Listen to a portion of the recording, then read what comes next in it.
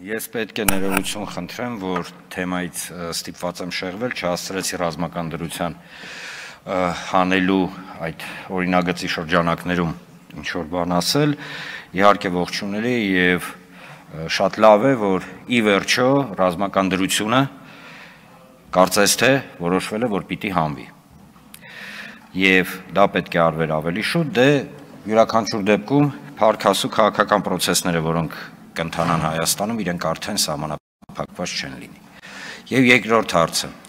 Առողջյան ելույթի ժամանակ պարոն Սիսակ Գաբրելյանը կրկին անգամ այդ ճարաբաստիկ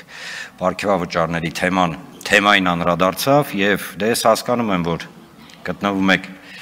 նախընտրական փուլում եւ պետք է ինչ-որ հայտարարություններ անեն, որոնք այս կամ այլ ձև մանիպուլատիվ են, սակայն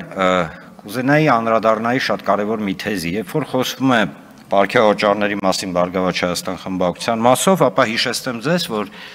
չգիտես ինչու պարոն Գաբրելյանը չնչացրեց, որ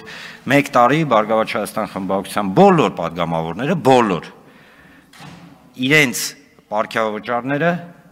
անցած տարի Գառնանը փոխանցում էինք պանդեմիայի ֆոնդին, դե պարզ է որ պատերազմը սկսեց պատերազմի ֆոնդին, ասեմ ավելին, որ Գառնանը, անցած տարի Գառնանը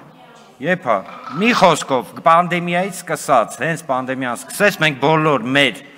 աշխատ մենք ունենք ներկայացրած փաստաթուղթ պարոն Միրզյանի անունով։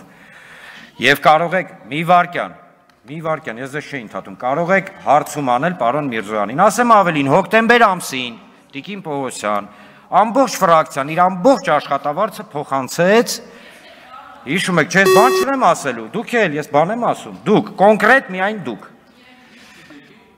Դե լավ, Ժորժ ջան, մի վարքյան, իմ ասածը ինչ է, ես չեմ ուզում լարել իրավիճակ։ Ես ուզում եմ պարզապես կոչ անել։ Եթե գնում է կոնստրուկտիվ քննարկում, ապա խնդրում եմ, եթե մենք ասում ենք A, օրինակ նույն ապարքյավաճարների մասով, ապա պետք է ասվի նաև B։ Շնորհակալություն։